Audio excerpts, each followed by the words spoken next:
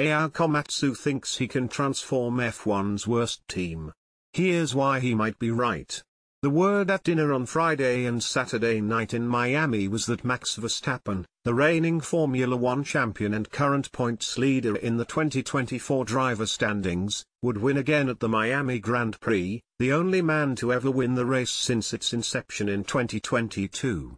This was the word even among Ferrari, which has increasing reasons for confidence these days. Lewis Hamilton is set to join the team next season as a driver, and legendary designer Adrian Newey might as well. Ferrari also just unveiled a new car, the 12Cilindri, the direct successor to the 812 Superfast, and, in qualifying on Saturday, Ferrari finished second and third with Charles Leclerc and Carlos Sainz, respectively.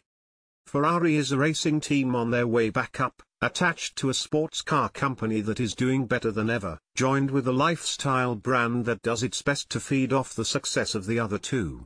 In Miami, all three combined for what Ferrari called a takeover of Miami, first at a glitzy event on Thursday for clients to show the 12Cilindri, a separate unveiling of Ferrari's Miami-inspired fashion collection, and then the weekend's showpiece, the sixth F1 race of the season.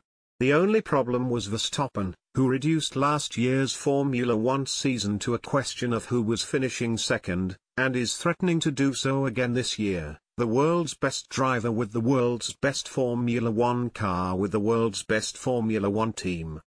Such were the expectations, at least, before the race on Sunday in the Miami heat, with track temperatures in the triple digits and Verstappen finishing fastest in qualifying for Saturday's sprint race, Verstappen winning Saturday's sprint race comfortably, and Verstappen finishing fastest in qualifying for the Sunday Grand Prix, too. Instead, a McLaren driven by the British driver Lando Norris won the Grand Prix, beating Verstappen by more than 7.6 seconds. The Ferraris didn't do half bad either, with Leclerc finishing third and Sainz, who will be replaced by Hamilton next year, finishing fifth. The race went off without major incident amid decent conditions for a car race, if a little hot. Norris beat Verstappen straight up, a result that surprised more than a few because drivers in Miami have to negotiate corners that normally favor the Red Bull car instead of the McLaren. Instead, Norris took advantage of the clean air in front of him and silenced some of his critics in the process.